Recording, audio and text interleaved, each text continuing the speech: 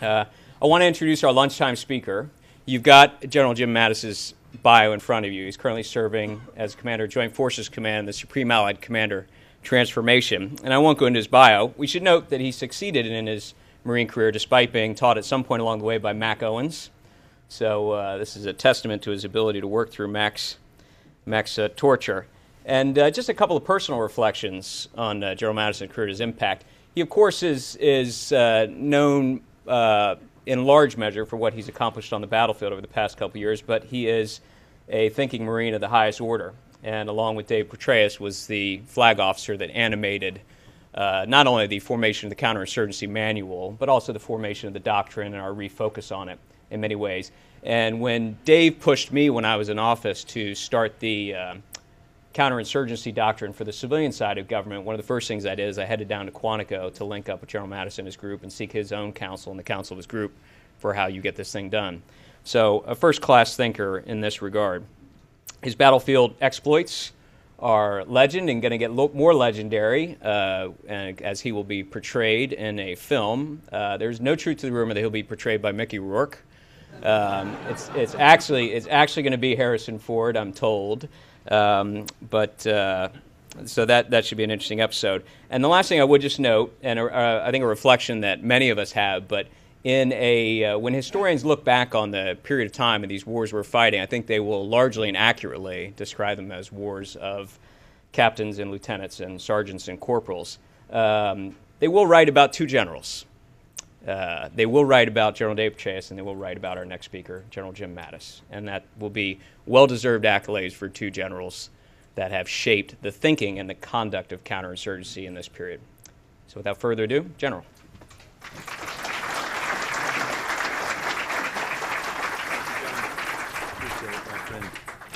Well, ladies and gentlemen, uh, thanks for having me here. First, uh, it's, it's always good to have to come and do one of these because it causes you to stop and actually think for a few minutes, and that's an unusual thing that we do nowadays at this rank. And it's a real honor to come and speak to you. After some of my publicized remarks, it's an honor to be invited anywhere in polite company to speak anymore. So we'll, we'll, uh, we'll see if I get invited back here. But uh, based on what I heard for the last 10 minutes before I walked in the room, I just completely dumped my speech. I'm going to go with a slightly different tack because I want to make certain we have time for questions and answers, which is always the best, I think, best part of, uh, of an event like this. But let me just talk for a few minutes.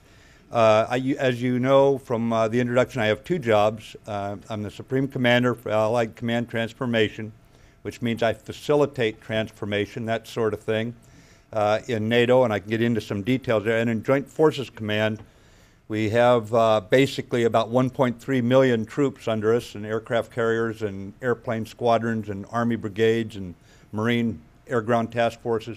And when General Petraeus or Admiral Keating need forces, they come in and we assign those forces out. That part of Joint Force Command takes very little time. It's very straightforward, and we also train the Joint Forces headquarters that go in to Baghdad, to Bagram, to uh, Hoa, uh, there in, uh, in Djibouti. We do that sort of thing. But the bottom line is, uh, I spend most of my time on forward looking concepts. That's the intellectual demanding part. That's where the two jobs, NATO and Joint Forces Command, come together. Uh, and the uh, picture up here, this is the sum total of my PowerPoint slides. This is Janus, uh, Roman god. He's looking forward and backward. It's not two faced hypocritical as we define it today. It's uh, two-faced. You're looking at what's going on in the past. You're looking forward, and really the history that we have is provides us some of our very best signposts for the future, especially if some of that history uh, is very, very recent.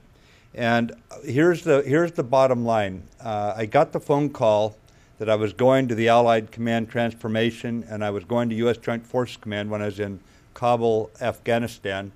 So I called for a map of NATO. Uh, they didn't have one there.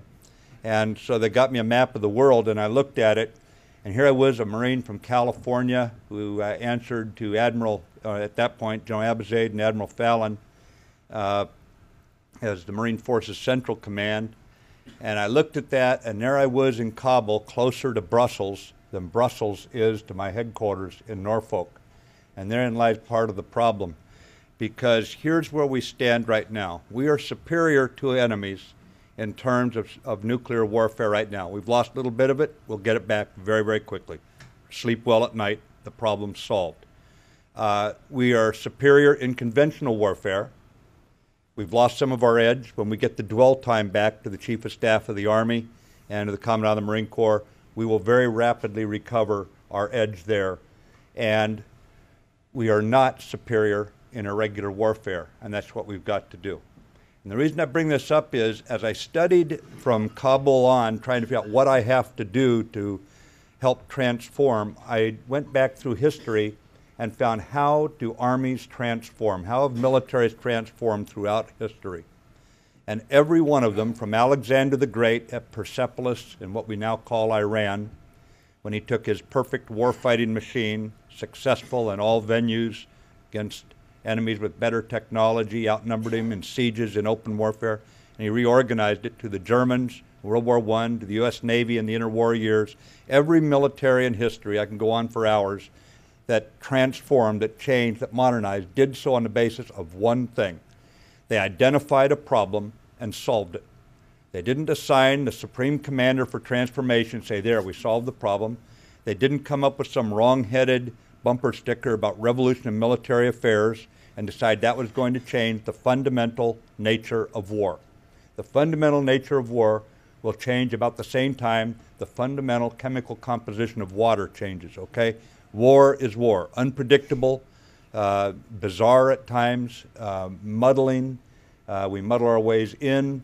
If I was to sum up everything I've learned in 35 years of wearing this uniform, it could be summed up in three words when you go into a fight improvise, improvise, improvise. And the more we anticipate, the more we try to get it right ahead of time, the less you have to improvise in combat. You will always have to improvise. But how do we get it right? The way the U.S. military addressed this was we took the Joint Operating Environment, the JOE we call it for short, we always have an acronym, and we wrote what we think the problem is. Remember, we have to identify the problem. We laid out what the operating environment looks like that the joint force will operate in the future. And in doing this, we try to take the, the big trends in demography and, and uh, in demographics and climate change, all these kind of things, and turn it, what are the military implications, and lay out the problem in the Joe. Then the chairman assigned to us to do the capstone concept for joint operations. There, we, uh, we wrote down how the joint force will operate, and really, for the first time, thanks to the clarity of the kind of battles we've been fighting, the different things happening in the world, first time since Colin Powell, the chairman, put his thumbprint squarely on how the joint force is going to operate. And so we have a problem statement and we have a solution, and now we take that solution and we test it. We experiment with it, we shoot holes in it, that sort of thing. We had all sorts of people help us. Some of them are sitting here in this room looking at me right now, and I appreciate it. Uh, we had people in our advisory group from the Hill. We had Senator Clinton. We had former Speaker Gingrich. We had the uh, former sound mixer for the Frank Zappa band. We tried to bring in some really strange people to break us out of our regimented approach to problem solving and problem definition, problem setting. Because if we don't set the problem right, we are probably going to get it wrong. I don't care how short you Marines cut your hair or how fast you run three miles. If we get the concepts wrong, as the Israelis saw in Second Lebanon War, your boys, no matter how brave, are going to catch RPGs in the chest, and you're not going to accomplish your objectives. So when you get concepts incorrectly done, then you really pay a price. Our job is not to get it 100% correct. You will never get it 100% correct. We just don't want to get it completely wrong. And that's where we were off uh, on, the, on the effort over the last few months to get this thing, I think, about right. Uh, we are absolutely certain that we will fight in the future. I was asked to talk about 21st century warfare. We will fight in coalitions, first, last, and always. We will be fighting against enemies in hybrid conditions. Uh, war is war. I accept that. And some people have asked me, challenged me, why do you use irregular war as a term? The reason we do it, ladies and gentlemen, is if we don't set up some kind of tension, some kind of magnet to pull the department out of its good old mano mano conventional war. If we don't do that, then we won't shift the budgeting, we won't shift the focus over to where it has to go. Really, we're going to have to be able to fight hybrid enemies, and that could be something like Second Lebanon that we're looking at very closely, where a high tech cruise missile takes out a ship, where an enemy hiding amongst the people sets off IEDs, where they're using cyber, they have good information operations campaign, they've learned how to influence the international media, all the things that you all have been hearing about, studying. I realize I'm talking to people who actually look at this. But the bottom line is we do not want the U.S. forces to be dominant and irrelevant in the future, and we can do that. That is what we must avoid by getting the problem right and the solution right. You take on the U.S. Air Force or the naval aviation, marine aviation at 15,000 feet in a fighter, NATO air forces, you only have one role fugitive. You better fly away real fast, or you're going to get shot out of the air. You take on a U.S. Navy on the high seas, they'll burn you to the waterline. That's all there is to it. You take on a U.S. Army in the open desert, in open terrain, and mechanized warfare, the Army will annihilate you.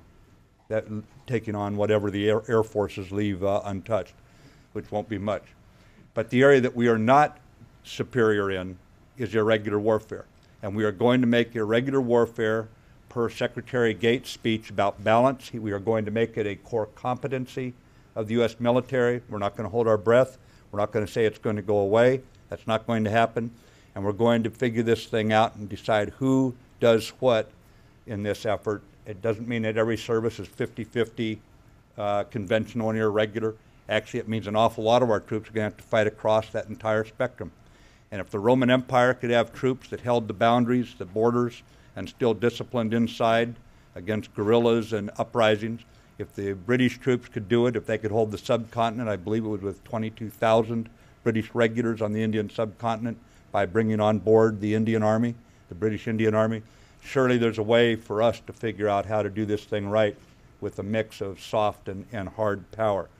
So the, the bottom line is uh, we've identified what we think is the fundamental problem, and that is gaining uh, competency at, at the national level and right down to the tactical level under the strategic to tactical compression in irregular warfare without surrendering our nuclear superiority and our conventional superiority behind which the international community gains great benefit.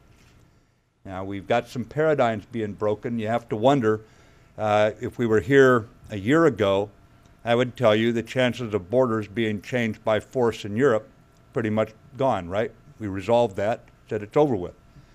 Well, borders were changed in Europe. If you consider Georgia part of Europe, kind of a stretch, but I guess it is. Uh, borders have been changed by force, and not much happened, did it? I mean, basically, I mean, a lot of newspaper articles written, but not much happened. So, what does that tell us about the future? One thing is we surrender our superiority in conventional war at our own peril. You think it's expensive to keep a conventional war force alive. It's a lot more expensive to have to fight a conventional war.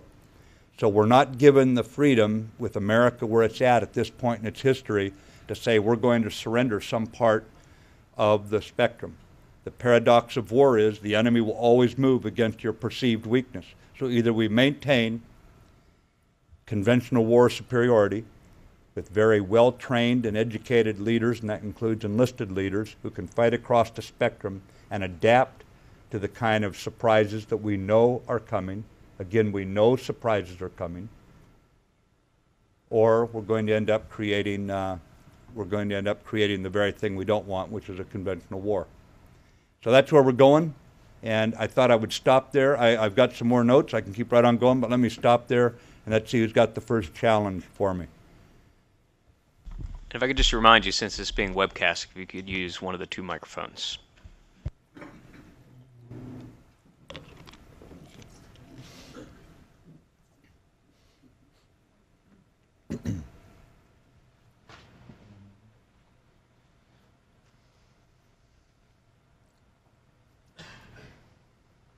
General Chris Seiple, I'm with a group that looks at religion and security.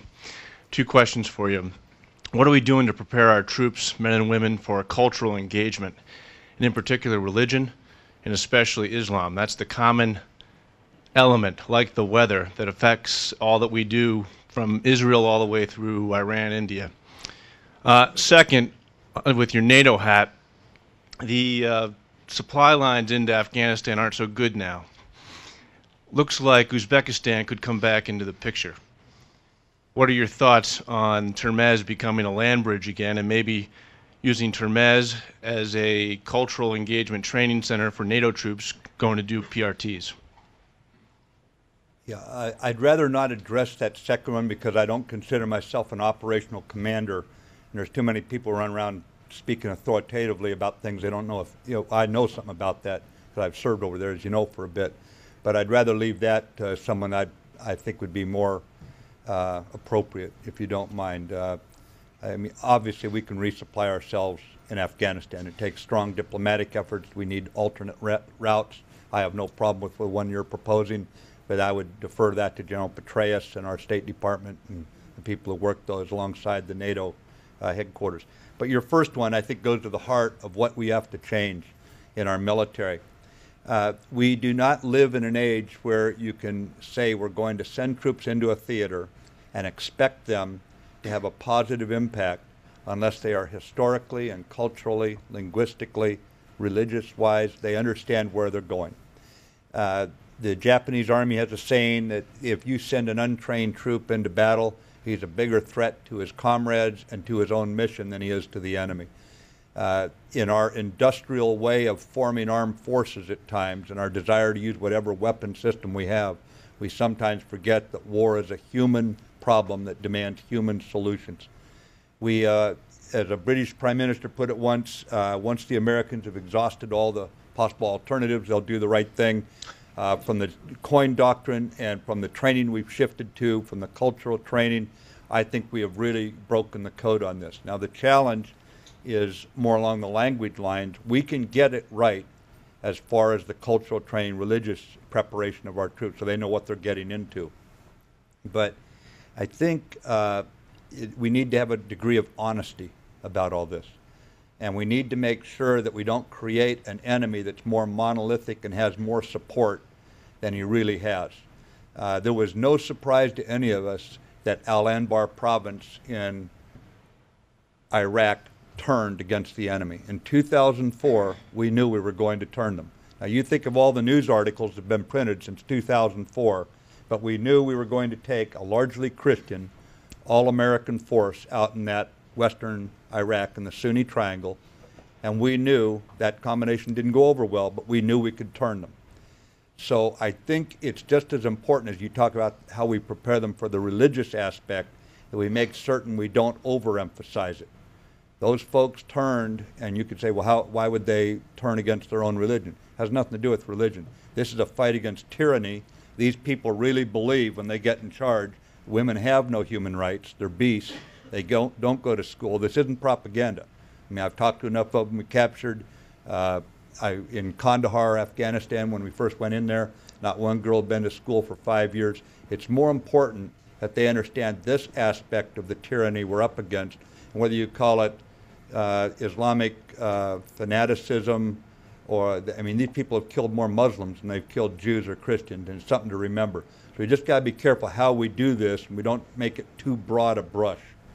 And I think we're doing it about right right now, but we've got a ways to go. Those of you who've been around a while remember Soviet military power. Every year we'd put out a big shiny book, and every one of us knew what a motorized rifle division was made up of. Every one of us knew what range on a flanker aircraft. We knew this stuff.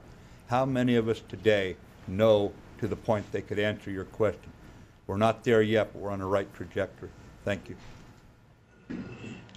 Sir, based on your comments of um, maintaining a conventional force is more expensive or less expensive than fighting a conventional force in regards to the Georgia campaign with Russia and our consideration of Russian reemergence and possible confrontations with upcoming elections in the Ukraine. Do you see that was a choice that we didn't fight or determined to fight because it wasn't worth uh, cost isn't worth the gain, i.e., in the Georgia campaign and in the case of Ukraine coming uh, to the forefront? Is it just a choice that we make not to do it, not that we don't have the capability? Oh, I mean, certainly we had the capability. Uh, we're talking about political will here and, and calculations of what's in our interest, NATO's interest. Uh, President Sarkozy, this last weekend, I was in Munich for the security conference.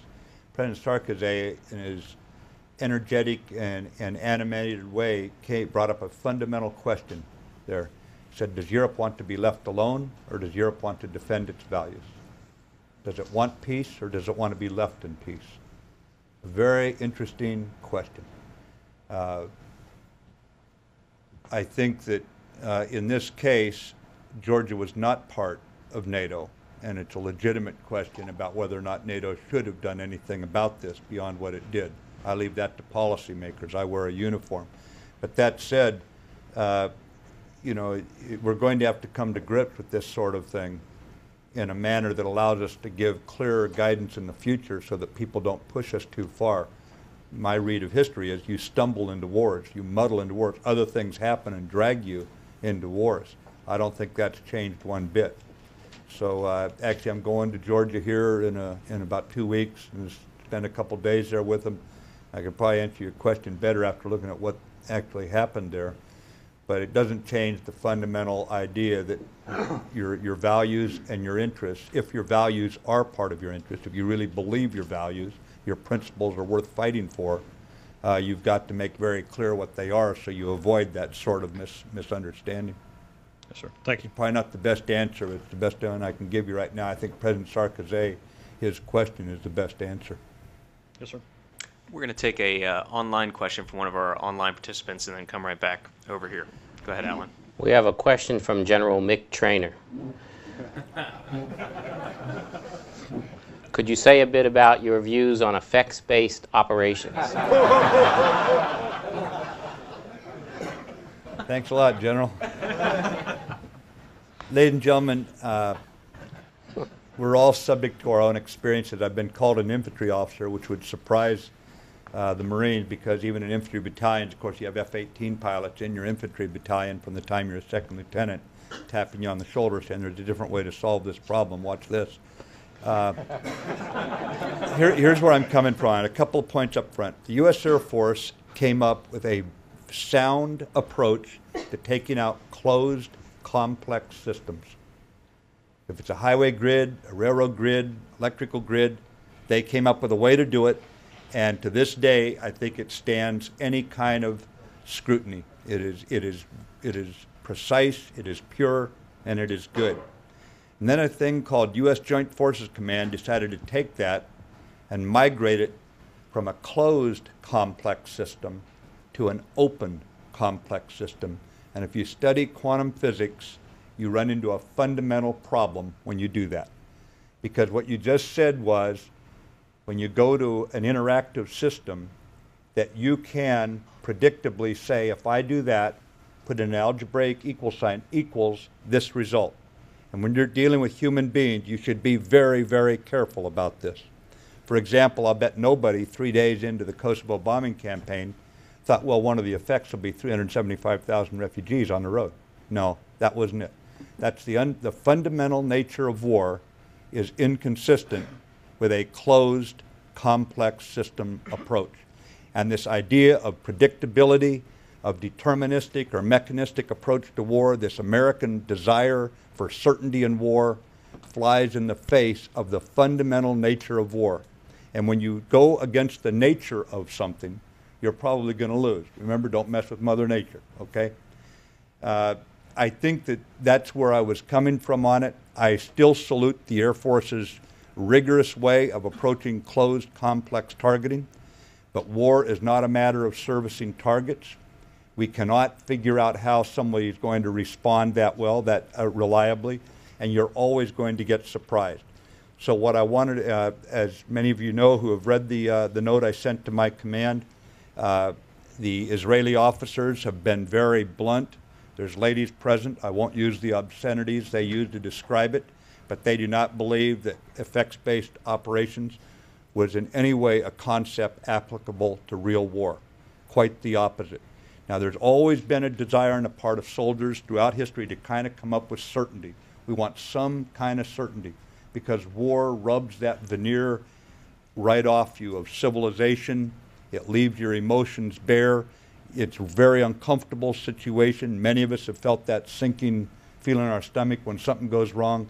But you simply have got to teach people how to deal with uncertainty don't go with a quantification of things when human will, imagination, courage are so important. Those are the ultimate determiners of warfare. So, uh, General Trainor, uh, that's where I was coming from on it, sir. And uh, I, well, I'll just stop there and see if you want to ask another question. Can, uh, we can almost smell the cigar smoke from Mick uh, coming through the uh, computer for those of you that know and have worked with him. Please go ahead. David Danello. Sir, uh, I was wondering if you could expand on your comments on Mexico in the uh, uh, Joe. Wow. Uh, well, the Mexican ambassador's asked to see me, and I, we hope to link up very soon. Uh, I just tell you that the JOE, the Joint Operating Environment, as I described it, is not a statement of U.S. policy. It's not predictive, it's speculative. And it's designed exactly with, with discussion in mind to break out of some. How many of you ever heard of the Joint Operating Environment in the last, ten, how about in the last, before this year? A few of you? Good. Because uh, by and large, I found it was not gaining any traction or being acted on, David, at all uh, before. So I brought in some real smart folks. Uh, they didn't all wear uniforms and their job was to come up with uh, a, a, catalyst document to go after the future in a way that was not as constrained to what we would be comfortable with. Uh, it's also a way to engage our own nation in what it's doing. For example, where are 95% of the weapons come contributing to the murder in Mexico? They're coming from this country right here. Where is all the money coming from that's destabilizing Mexico? It's coming here because of an insatiable drug appetite. I don't even see any drug messages on TV anymore. Remember those old things that showed those frying eggs, your brain on drugs? Haven't seen any. Maybe we can at least start reducing the demand for drugs in this country, recognizing what it's going to do to a neighbor. Maybe we can reduce the number of guns we're sending south because we're coming out saying we've got a problem in Mexico. Uh, but it, it's obviously a very serious concern their national security situation. And for obvious reasons, it's, it's going to bleed right across the border. So uh, thanks for your book, by the way. Sir, Sir good to see you. Uh, I, first, I want to congratulate the Marine Corps for the effects-based operation that they successfully conducted in El Anbar province. And I was wondering how you were able to predict in 2004 the effect that you would create in El uh, equated to a military operation. But we'll put that aside for another time. No, really I, I, will answer that, Charlie. Let me, let me explain something to you. It was a non quantifiable problem, and it was based on military judgment. We quantified what we could, then we implemented our military judgment and inserted that. But uh, the idea that only the Americans could spend hundreds of millions of dollars and say, you know what, I'll bet it's a good idea to have some result in mind if we're going to do something. I mean, Eisenhower landed in Normandy, said, you know, I think I'll just land over there on the beach. I don't know what the hell I'm going to do when I get there. No, he knew he was going to go to Berlin and kill Mr. Hitler. It was very clear what he was going to do. The idea, only the Americans could come up with something that strikingly obvious, declare it a concept, and then make it a rigidly information laden demander of huge headquarters that would paralyze everything down below. It was a bastardization of what your service did that I resent intellectually about it. It is not where you took it. I think it went too far and had to become rigid and information laden because if you did not do that, you could not make the predictive assessments that required quantification. And that's where it went wrong. It was not with what you all did in the beginning. But please go ahead, Charlie, with your question. But, but actually, actually, I think your explanation here today of what you really mean is very, very helpful, sir, because I think that there's a lot more common ground with what with what you said here today than is popularly understood yeah. by the bumper stickers. Yeah. But what I really want to ask you about is, are you all giving any thought you know, General Wickham has, wrote an article about small footprint coin operations, mm-hmm. and as we look to the future, are is Joint Forces Command giving any thought about how do we adapt uh, an operation where we know we're going to have limited numbers of troops, we can't meet the troop ratio in FM 3-24. How do we go about doing coin operations in, under those circumstances? Are You giving any thought to that? I do, uh, Charlie. Thank you. Uh, I just got back last week from a, one of a series of meetings with the commander of Special Operations Command as we try to marry the general purpose forces and SOCOM for how we're going to do this, probably trying to preclude having to send in large, heavy footprints. Obviously, sea basing has a lot to say for it because you don't put those troops ashore other than in temporary locations. An expeditionary situation where not every troop has a big screen TV and 18 entrees on the menu that night as it's completely isolated from the local people. In other words, we're talking about a, a fundamental shift in comfort levels, basing, and that sort of thing. But also, I think that uh, you, I, I would like, if I could make one change to Joint Force Command, kind of superficial right now, I'd change it from Joint Forces Command to Coalition and Joint Forces Command. We're not going to fight alone. And I think if we go into this fight with the understanding that every nation brings something with it, it doesn't matter if we have technical interoperability, if you have a spirit of collaboration and you're willing to work with them, small teams of Americans, whether it be the U- USS Mercy or Special Forces operating somewhere, or uh, an Air Force team that teaches people how to use small propeller driven airplanes to, to maintain surveillance over bad borders and this sort of thing. There's ways we can do this that hopefully will preclude large footprints ashore. But there comes a time, due to this accident of history that we were born into, where the Americans are going to be seen as the leader. And if we are not willing to commit a large number of troops on the ground in some circumstances, we will not prevail. So it's going to be a balancing act, but we see ourselves having to reduce this heavy footprint, this logistically demanding and sometimes problem causing by its very presence footprint. And we are going in that direction. It's going to require more troops in the Army, the Marines, Navy, Air Force to be advisors, uh, that sort of thing. But we are going in that direction. And if you want to come down and look at what we're doing and give me any of your thoughts, you're welcome. I'd, I'd, I'd appreciate the outside review. Thank you, sir. We've just set up, by the way, ladies and gentlemen, our joint, uh, our first joint inter- irregular warfare center. Uh, I've brought in a special forces officer to run it, and my deputy is now uh, a Navy. He went from one star to three star, never wore two.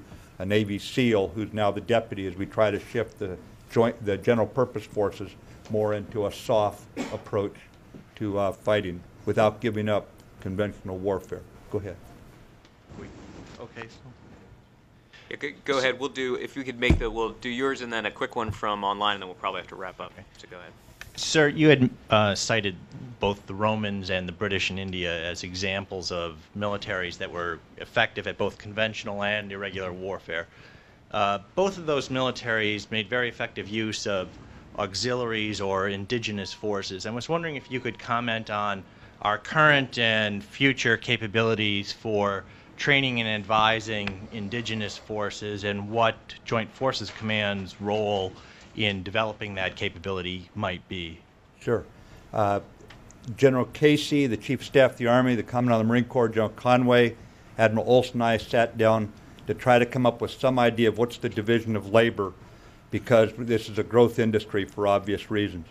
Uh, we see ourselves doing more of it, as I mentioned just a moment ago, and the division of labor will probably be where we need people to build relationships. That's going to be a special forces kind of job and they've been expanded. Where we want to just go in and train people in marching, basic marksmanship, first aid, small unit tactics, that sort of thing, the general purpose forces uh, will probably pick up most of those. And that's why we're going to need more troops who are culturally adept, who are comfortable working outside uh, Mother Army, Mother Marine Corps kind of stuff, and able to work in small teams. But this requirement for small teams that can operate in combat or as advisors is now a national priority. We are going to have to create high performing small units, and we've got some cognitive efforts going on. Uh, we also are going to use a lot more simulation. Uh, we're going to try to mimic for our, our small, our joint small units, uh, for our joint forces small units, what the aviation and maritime forces have done with simulation over many, many years. That's part of this shift to an irregular warfare advisor kind of ability without giving up an aggregated conventional force at the same time. There's ways I think that technology can help us, eh, and it especially comes to the human interface. That's where it's really helpful to us. But I think we're on, on the same sheet of music here. Thank you. And finally, Alan. uh, We have a question from Jason Sherman, a reporter for InsideDefense.com, watching from Brooklyn, New York. Two questions. As the Pentagon girds itself for a round of fiscal belt tightening, what capabilities do you believe the military services should shed, and what capabilities do you believe need to be bolstered? And do you believe COCOM should have greater say in development of the Pentagon's budget request? I'll, I'll take the second one first. Uh, i I, really believe uh, that nobody wakes up in the morning saying, I think I'm going to screw the country up today. So if we can go in, I gave that thinking up a long time ago, you know. So I, I think if we can go in with an intellectually sound argument for what kind of military do we need and make a compelling case for it, we can make the, we can make the change. For those who are very impatient with the U.S. military, you go back through history, how many militaries in 10 years went from a Bosnia type constabulary situation to an Afghanistan special forces led general purpose forces exploitation, uh, integration of air fires. Uh, first time I ever left uh, artillery behind in 25 years of fighting was when I went in 350 miles because I trusted the aviation would be there. I worked uh, under a guy I'm proud to say forever. I worked under named General Moseley for our support. Uh, but as you as you look at this sort of thing, uh, you can come up with compelling reasons for how you want to organize the U.S. military. You're, the signposts aren't perfect; they're a little dim at times, but you can figure out how to do it. So if you come up with a good reason for what you want to do, I'm convinced you can get the services to go along. Now, as far as the uh, what kind, what should we bolster and what what should we uh, reduce, you've got to be very careful on reduction uh, and just wiping out a capability. Uh, the British, coming out of the Boer War, I believe, thought there would be no more state-on-state warfare. Uh, they decided it would be small insurgencies, and 10 years later, 12 years later, their boys are going into machine guns because they can't conceptualize these changes in war, and they just keep throwing boys against it. But I think that uh, when we look at the capabilities we need to retain, it, we need to retain air superiority, clearly. I think we must retain forcible entry if we want to reassure our friends and threaten our enemies. And we do have enemies in this world. I think that when you look at uh, basing of our troops, I think that is a place that you could tighten the belt in a number of ways. It doesn't mean to bring the troops home. I think we've brought, frankly, too many troops home from Europe. I don't think we should bring home any more troops from Europe. But I think that what you need to look at are what capabilities you want to retain in the conventional, irregular, and nuclear types of war, and make certain that what you do is make is you confound the enemy's logic, figure out what they're going to do to move against you, and then checkmate it intellectually.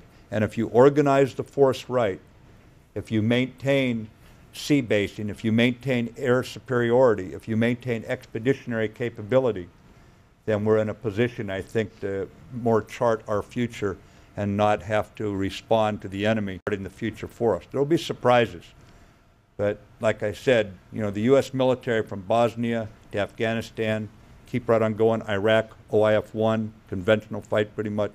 OIF 2 was not a conventional fight. What we're going into here with the Taliban, uh, you know, the amount of, uh, of efforts we've had for humanitarian ops, U.S. military has proven to be remarkably agile.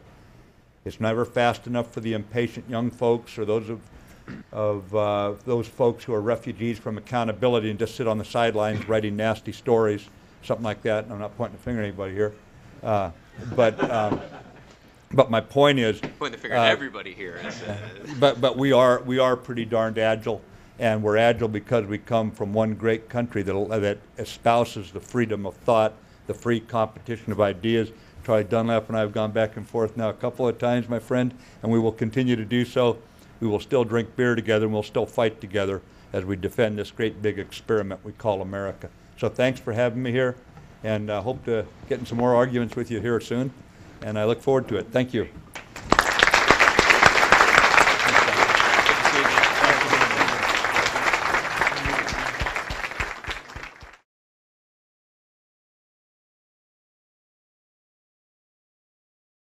Is the enemy will always move against your perceived weakness. So either we maintain conventional war superiority with very well trained and educated leaders, and that includes enlisted leaders who can fight across the spectrum and adapt to the kind of surprises that we know are coming. Again, we know surprises are coming. Or we're going to end up creating, uh, we're going to end up creating the very thing we don't want, which is a conventional war. So that's where we're going. And I thought I would stop there. I, have got some more notes. I can keep right on going, but let me stop there and let's see who's got the first challenge for me. And if I could just remind you, since it's being webcast, if you could use one of the two microphones.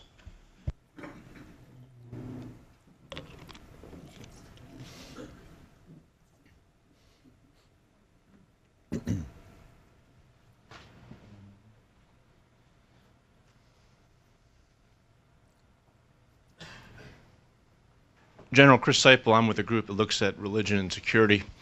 Two questions for you.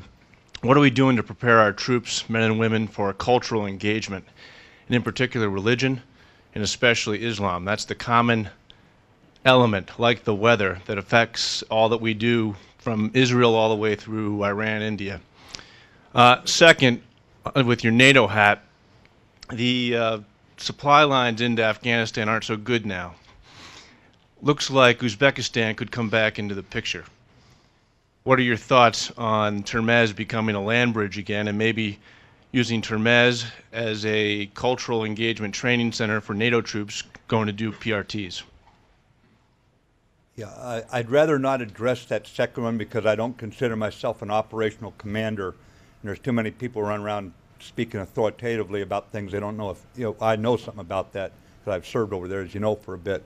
But I'd rather leave that to someone I I think would be more uh, appropriate, if you don't mind. Uh, I mean, obviously, we can resupply ourselves in Afghanistan. It takes strong diplomatic efforts. We need alternate routes. I have no problem with the one you're proposing, but I would defer that to General Petraeus and our State Department and the people who work those alongside the NATO uh, headquarters. But your first one, I think, goes to the heart of what we have to change in our military. Uh, we do not live in an age where you can say we're going to send troops into a theater and expect them to have a positive impact unless they are historically and culturally, linguistically, religious wise, they understand where they're going. Uh, the Japanese army has a saying that if you send an untrained troop into battle, he's a bigger threat to his comrades and to his own mission than he is to the enemy uh, in our industrial way of forming armed forces at times and our desire to use whatever weapon system we have, we sometimes forget that war is a human problem that demands human solutions. We, uh, as a British Prime Minister put it once, uh, once the Americans have exhausted all the possible alternatives, they'll do the right thing. Uh, from the COIN doctrine and from the training we've shifted to, from the cultural training, I think we have really broken the code on this. Now, the challenge is more along the language lines. We can get it right as far as the cultural training, religious preparation of our troops, so they know what they're getting into. But I think uh, it, we need to have a degree of honesty about all this. And we need to make sure that we don't create an enemy that's more monolithic and has more support than he really has. Uh, there was no surprise to any of us that Al Anbar province in Iraq turned against the enemy. In 2004, we knew we were going to turn them. Now, you think of all the news articles that have been printed since 2004, but we knew we were going to take a largely Christian, all American force out in that western Iraq in the Sunni Triangle, and we knew that combination didn't go over well, but we knew we could turn them. So I think it's just as important as you talk about how we prepare them for the religious aspect that we make certain we don't overemphasize it. Those folks turned, and you could say, well, how, why would they turn against their own religion? It has nothing to do with religion. This is a fight against tyranny. These people really believe when they get in charge, women have no human rights. They're beasts. They don't, don't go to school. This isn't propaganda. I mean, I've talked to enough of them we captured. Uh, I, in Kandahar, Afghanistan, when we first went in there, not one girl had been to school for five years. It's more important that they understand this aspect of the tyranny we're up against, and whether you call it uh, Islamic uh, fanaticism, or I mean, these people have killed more Muslims than they've killed Jews or Christians, and it's something to remember. So we just got to be careful how we do this, and we don't make it too broad a brush. And I think we're doing it about right right now, but we've got a ways to go. Those of you who've been around a while remember Soviet military power. Every year we'd put out a big shiny book, and every one of us knew what a motorized rifle division was made up of. Every one of us knew what range on a flanker aircraft. We knew this stuff. How many of us today know to the point they could answer your question? We're not there yet, but we're on the right trajectory. Thank you. Sir, based on your comments of um, maintaining a conventional force is more expensive or less expensive than fighting a conventional force in regards to the Georgia campaign with Russia and our consideration of Russian reemergence and possible confrontations with upcoming elections in the Ukraine. Do you see that was a choice that we didn't fight or determined to fight because it wasn't worth uh, cost isn't worth the gain, i.e., in the Georgia campaign and in the case of Ukraine coming uh, to the forefront? Is it just a choice that we make not to do it, not that we don't have the capability? Oh, I mean, certainly we had the capability. Uh, we're talking about political will here and, and calculations of what's in our interest, NATO's interest. Uh, President Sarkozy, this last weekend, I was in Munich for the security conference.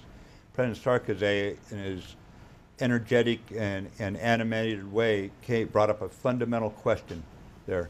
He said, Does Europe want to be left alone, or does Europe want to defend its values? Does it want peace, or does it want to be left in peace? A very interesting question. Uh, I think that uh, in this case, Georgia was not part. Uh, I want to introduce our lunchtime speaker. You've got General Jim Mattis's bio in front of you. He's currently serving as Commander of Joint Forces Command, the Supreme Allied Commander Transformation. And I won't go into his bio. We should note that he succeeded in his Marine career despite being taught at some point along the way by Mac Owens. So uh, this is a testament to his ability to work through Mac's, Mac's uh, torture. And uh, just a couple of personal reflections on uh, General Madison Curtis' impact. He, of course, is, is uh, known uh, in large measure for what he's accomplished on the battlefield over the past couple years, but he is a thinking Marine of the highest order. And along with Dave Petraeus, was the flag officer that animated uh, not only the formation of the counterinsurgency manual, but also the formation of the doctrine and our refocus on it in many ways. And when Dave pushed me when I was in office to start the uh, counterinsurgency doctrine for the civilian side of government, one of the first things I did is I headed down to Quantico to link up with General Mattis and his group and seek his own counsel and the counsel of his group for how you get this thing done. So, a first class thinker in this regard. His battlefield exploits are legend and going to get lo- more legendary uh, as he will be portrayed in a film. Uh, there's no truth to the rumor that he'll be portrayed by Mickey Rourke. Um, it's, it's actually it's actually going to be Harrison Ford, I'm told. Um, but uh, so that that should be an interesting episode. And the last thing I would just note, and uh, I think a reflection that many of us have, but in a uh, when historians look back on the period of time and these wars we're fighting, I think they will largely and accurately describe them as wars of captains and lieutenants and sergeants and corporals. Um, they will write about two generals. Uh, they will write about General Dave Chase and they will write about our next speaker, General Jim Mattis. And that will be well deserved accolades for two generals that have shaped the thinking and the conduct of counterinsurgency in this period. So without further ado, General.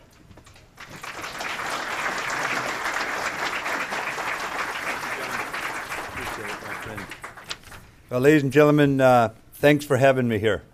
First, uh, it's, it's always good to have to come and do one of these because it causes you to stop and actually think for a few minutes, and that's an unusual thing that we do nowadays at this rank. And it's a real honor to come and speak to you. After some of my publicized remarks, it's an honor to be invited anywhere in polite company to speak anymore. So we'll, we'll, uh, we'll see if I get invited back here. But uh, based on what I heard for the last 10 minutes before I walked in the room, I just completely dumped my speech. I'm going to go with a slightly different tack because I want to make certain we have time for questions and answers, which is always the best, I think, best part of, uh, of an event like this. But let me just talk for a few minutes. Uh, I, as you know from uh, the introduction, I have two jobs. Uh, I'm the Supreme Commander for Allied Command Transformation, which means I facilitate transformation, that sort of thing, uh, in NATO, and I can get into some details there. And in Joint Forces Command, We have uh, basically about 1.3 million troops under us, and aircraft carriers, and airplane squadrons, and Army brigades, and Marine air ground task forces. And when General Petraeus or Admiral Keating need forces, they come in and we assign those forces out. That part of Joint Force Command takes very little time. It's very straightforward, and we also train the Joint Forces headquarters that go in to Baghdad, to Bagram, to uh, Hoa, uh, there in, uh, in Djibouti. We do that sort of thing. But the bottom line is, uh, I spend most of my time on forward looking concepts. That's the intellectual demanding part. That's where the two jobs, NATO and Joint Forces Command, come together. Uh, and the uh, picture up here, this is the sum total of my PowerPoint slides. This is Janus, uh, Roman god. He's looking forward and backward. It's not two faced hypocritical as we define it today. It's uh, two faced. You're looking at what's going on in the past, you're looking forward, and really the history that we have is some, provides us some of our very best signposts for the future, especially if some of that history uh, is very, very recent. And here's the, here's the bottom line. Uh, I got the phone call that I was going to the Allied Command Transformation and I was going to U.S. Joint Forces Command when I was in Kabul, Afghanistan. So I called for a map of NATO. Uh, they didn't have one there. And so they got me a map of the world and I looked at it. And here I was, a Marine from California who uh, answered to Admiral, uh, at that point, General Abizaid and Admiral Fallon. Uh, as the Marine Forces Central Command. And I looked at that, and there I was in Kabul, closer to Brussels than Brussels is to my headquarters in Norfolk. And therein lies part of the problem. Because here's where we stand right now we are superior to enemies in terms of, of nuclear warfare right now. We've lost a little bit of it, we'll get it back very, very quickly. Sleep well at night, the problem's solved. Uh, we are superior in conventional warfare We've lost some of our edge. When we get the dwell time back to the Chief of Staff of the Army and to the Commandant of the Marine Corps, we will very rapidly recover our edge there. And we are not superior in irregular warfare, and that's what we've got to do. And the reason I bring this up is as I studied from Kabul on, trying to figure out what I have to do to help transform, I went back through history and found how do armies transform, how have militaries transformed throughout history. And every one of them, from Alexander the Great at Persepolis in what we now call Iran, when he took his perfect warfighting machine, successful in all venues against enemies with better technology, outnumbered him in sieges and open warfare, and he reorganized it to the Germans, World War I, to the U.S. Navy in the interwar years. Every military in history, I can go on for hours, that transformed, that changed, that modernized did so on the basis of one thing. They identified a problem and solved it. They didn't assign the supreme commander for transformation, say, there, we solved the problem. They didn't come up with some wrong headed bumper sticker about revolution in military affairs and decide that was going to change the fundamental nature of war. The fundamental nature of war will change about the same time the fundamental chemical composition of water changes, okay? War is war, unpredictable, uh, bizarre at times, uh, muddling. Uh, we muddle our ways in. If I was to sum up everything I've learned in 35 years of wearing this uniform, it could be summed up in three words when you go into a fight improvise, improvise, improvise. And the more we anticipate, the more we try to get it right ahead of time, the less you have to improvise in combat. You will always have to improvise. But how do we get it right? The way the U.S. military addressed this was we took the Joint Operating Environment, the JOE we call it for short, we always have an acronym, and we wrote what we think the problem is. Remember, we have to f- identify the problem. We laid out what the operating environment looks like that the Joint Force will operate in the future. And in doing this, we try to take the, the big trends in demography and, and uh, in demographics and climate change, all these kind of things, and turn it what are the military implications and lay out the problem in the JOE. Then the chairman assigned to us to do the capstone concept for joint operations.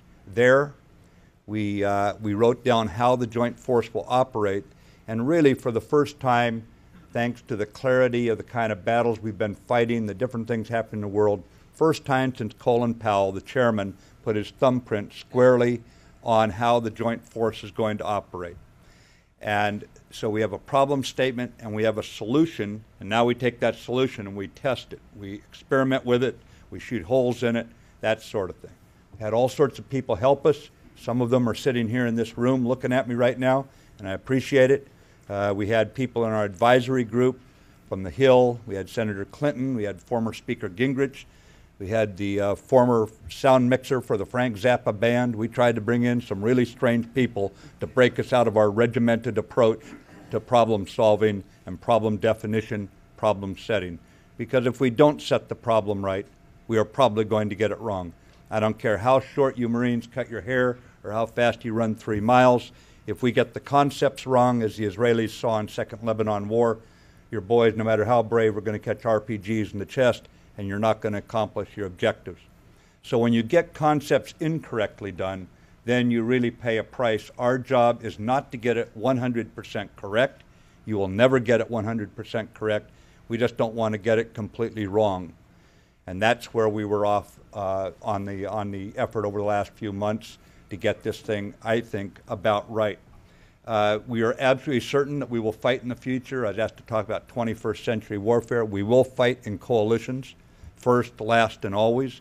We will be fighting against enemies in hybrid conditions. Uh, war is war. I accept that. And some people have asked me, challenged me, why do you use irregular war as a term? The reason we do it, ladies and gentlemen, is if we don't set up some kind of tension, some kind of magnet to pull the department out of its good old mano mano conventional war, if we don't do that, then we won't shift the budgeting, we won't shift the focus over to where it has to go.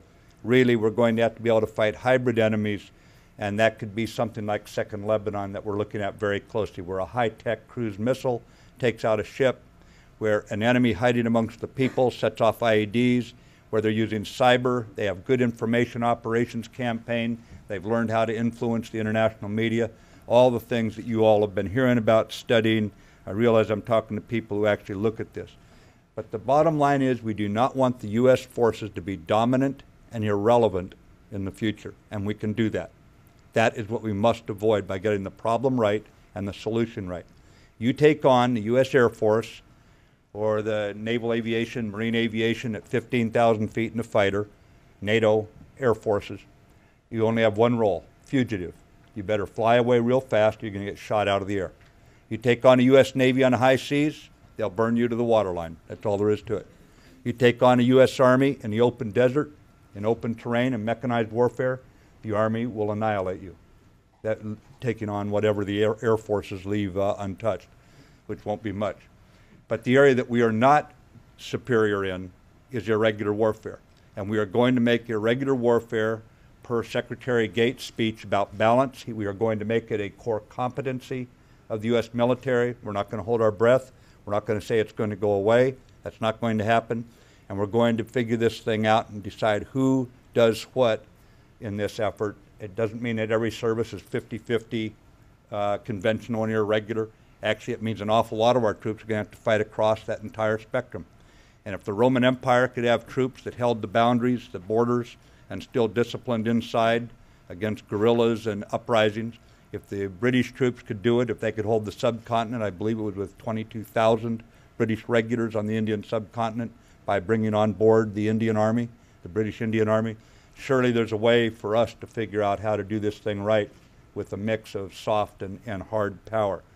So the, the bottom line is uh, we've identified what we think is the fundamental problem, and that is gaining uh, competency at, at the national level and right down to the tactical level under the strategic to tactical compression in irregular warfare without surrendering our nuclear superiority and our conventional superiority behind which the international community gains great benefit. Now, we've got some paradigms being broken. You have to wonder uh, if we were here a year ago, I would tell you the chances of borders being changed by force in Europe pretty much gone, right? We resolved that, said it's over with. Well, borders were changed in Europe. If you consider Georgia part of Europe, kind of a stretch, but I guess it is. Uh, borders have been changed by force, and not much happened, did it? I mean, basically, I mean, a lot of newspaper articles written, but not much happened. So, what does that tell us about the future? One thing is we surrender our superiority in conventional war at our own peril. You think it's expensive to keep a conventional war force alive. It's a lot more expensive to have to fight a conventional war. So we're not given the freedom with America where it's at at this point in its history to say we're going to surrender some part of the spectrum. The paradox of war of NATO, and it's a legitimate question about whether or not NATO should have done anything about this beyond what it did. I leave that to policymakers. I wear a uniform.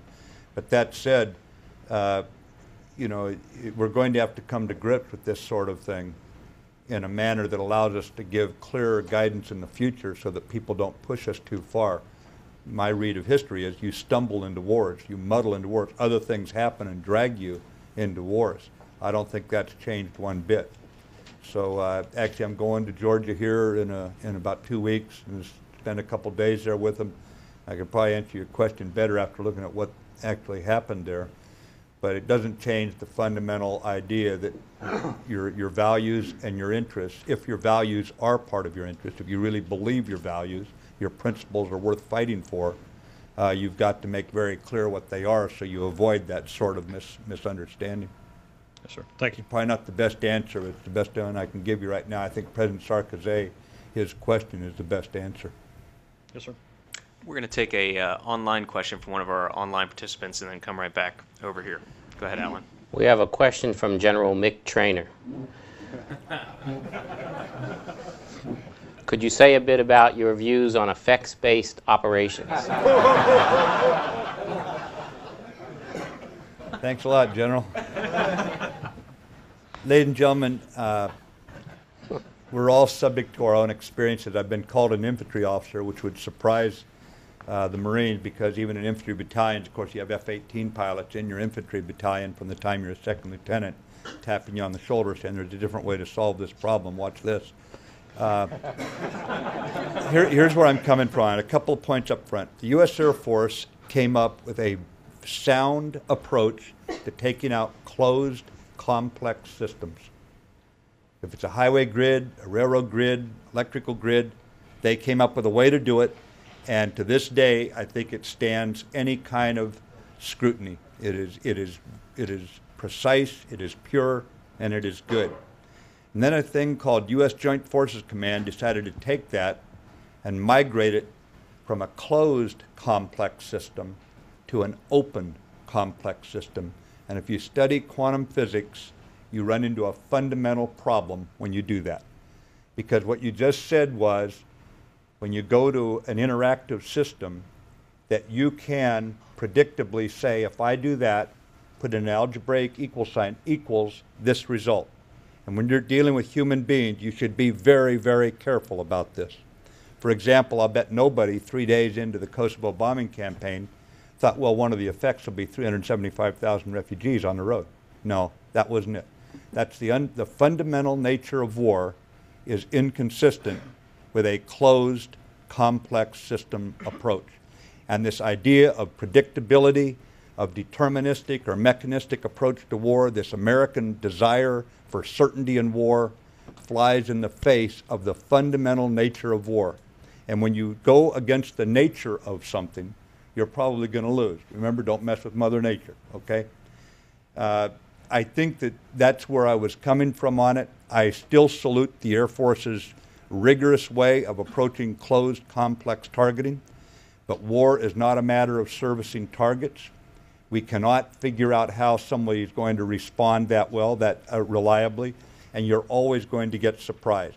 So what I wanted, uh, as many of you know who have read the uh, the note I sent to my command, uh, the Israeli officers have been very blunt.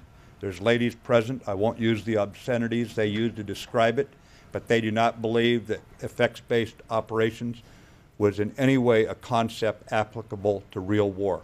Quite the opposite. Now, there's always been a desire on the part of soldiers throughout history to kind of come up with certainty. We want some kind of certainty because war rubs that veneer right off you of civilization. It leaves your emotions bare. It's a very uncomfortable situation. Many of us have felt that sinking feeling in our stomach when something goes wrong. But you simply have got to teach people how to deal with uncertainty. Don't go with a quantification of things when human will, imagination, courage are so important. Those are the ultimate determiners of warfare. So, uh, General Trainor, uh, that's where I was coming from on it, sir. And uh, I, well, I'll just stop there and see if you want to ask another question.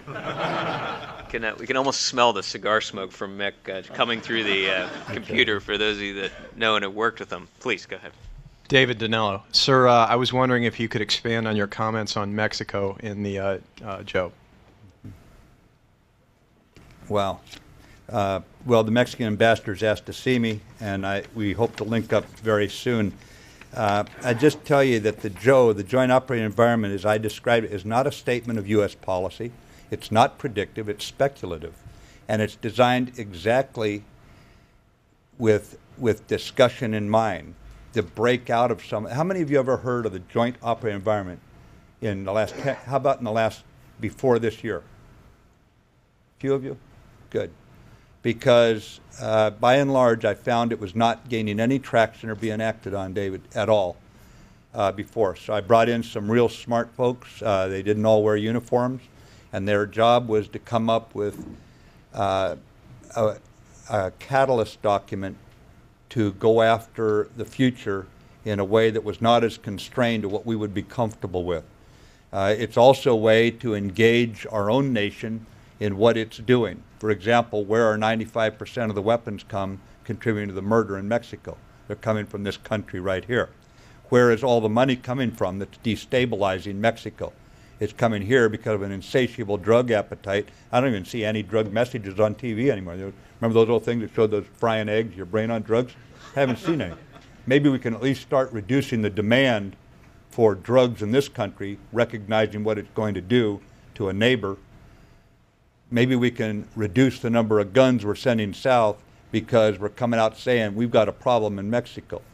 Uh, but it, it's obviously a very serious concern, their national security situation, and for obvious reasons, it's, it's going to bleed right across the border. So uh, thanks for your book, by the way.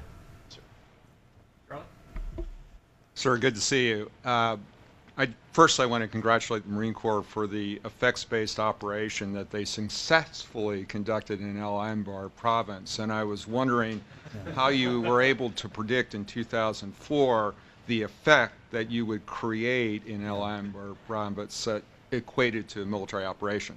But we'll put that aside for another time. No, really I, I will answer that, Charlie. Let me, let me explain something to you. It was a non-quantifiable problem and it was based on military judgment. We quantified what we could, then we implemented our military judgment and inserted that. But uh, the idea that only the Americans could spend hundreds of millions of dollars and say, you know what, I'll bet it's a good idea to have some result in mind if we're going to do something. I mean, Eisenhower landed in Normandy, said, you know, I think I'll just land over there on the beach. I don't know what the hell I'm going to do when I get there. No, he knew he was going to go to Berlin and kill Mr. Hitler. It was very clear what he was going to do. The idea, only the Americans could come up with something that strikingly obvious, declare it a concept, and then make it a rigidly information laden demander of huge headquarters that would paralyze everything down below. It was a bastardization of what your service did that I resent intellectually about it. It is not where you took it. I think it went too far and had to become rigid and information laden because if you did not do that, you could not make the predictive assessments that required quantification. And that's where it went wrong. It was not with what you all did in the beginning. But please go ahead, Charlie, with your question. But, but actually, actually, I think your explanation here today of what you really mean is very, very helpful, sir, because I think that there's a lot more common ground with what with what you said here today than is popularly understood yeah. by the bumper stickers. Yeah. But what I really want to ask you about is, are you all giving any thought? You know, General Wickham has, wrote an article about small footprint COIN operations, mm-hmm. and as we look to the future, are you, is Joint Forces Command giving any thought about how do we adapt uh, an operation where we know we're going to have limited numbers of troops, we can't meet the troop ratio in FM 3-24, How do we go about doing COIN operations in, under those circumstances? Are you giving any thought to that? I do, uh, Charlie. Thank you. Uh, I just got back last week from a, one of a series of meetings with the commander of Special Operations Command as we try to marry the general purpose forces and SOCOM for how we're going to do this, probably trying to preclude having to send in large, heavy footprints. Obviously, sea basing has a lot to say for it because you don't put those troops ashore other than in temporary locations. An expeditionary situation where not every troop has a big screen TV and 18 entrees on the menu that night as it's completely isolated from the local people. In other words, we're talking about a, a fundamental shift in comfort levels, mm-hmm. basing, and that sort of thing. But also, I think that uh, you, I, I would like, if I could make one change to Joint Force Command, kind of superficial right now, I'd change it from Joint Forces Command to Coalition and Joint Forces Command. We're not going to fight alone. And I think if we go into this fight with the understanding that every nation brings something with it, it doesn't matter if we have technical interoperability, if you have a spirit of collaboration and you're willing to work with them, small teams of Americans, whether it be the U- USS Mercy or Special Forces operating somewhere, or uh, an Air Force team that teaches people how to use small propeller driven airplanes to, to maintain surveillance over bad borders and this sort of thing. There's ways we can do this that hopefully will preclude large footprints ashore. But there comes a time, due to this accident of history that we were born into, where the Americans are going to be seen as the leader. And if we are not willing to commit a large number of troops on the ground in some circumstances, we will not prevail. So it's going to be a balancing act, but we see ourselves having to reduce this heavy footprint, this logistically demanding and sometimes problem causing by its very presence footprint. And we are going in that direction. It's going to require more troops in the Army, the Marines, Navy, Air Force to be advisors, uh, that sort of thing. But we are going in that direction. And if you want to come down and look at what we're doing and give me any of your thoughts, you're welcome. I'd, I'd, I'd appreciate the outside review. Thank you, sir. We've just set up, by the way, ladies and gentlemen, our joint, uh, our first joint inter- irregular warfare center. Uh, I've brought in a special forces officer to run it, and my deputy is now uh, a Navy. He went from one star to three star, never wore two. A Navy SEAL who's now the deputy as we try to shift the joint, the general purpose forces more into a soft approach to uh, fighting without giving up conventional warfare. Go ahead. Okay. So. Yeah, go ahead. We'll do, if we could make the, we'll do yours and then a quick one from online, and then we'll probably have to wrap up. So go ahead. Sir, you had uh, cited both the Romans and the British in India as examples of militaries that were effective at both conventional and irregular warfare. Uh, both of those militaries made very effective use of auxiliaries or indigenous forces. I was wondering if you could comment on our current and future capabilities for training and advising indigenous forces and what Joint Forces Command's role in developing that capability might be. Sure. Uh, General Casey, the Chief of Staff of the Army, the Commandant of the Marine Corps, General Conway, Admiral Olson and I sat down to try to come up with some idea of what's the division of labor because this is a growth industry for obvious reasons. Uh, we see ourselves doing more of it, as I mentioned just a moment ago. And the division of labor will probably be where we need people to build relationships. That's going to be a special forces kind of job. And they've been expanded. Where we want to just go in and train people in marching, basic marksmanship, first aid, small unit tactics, that sort of thing, the general purpose forces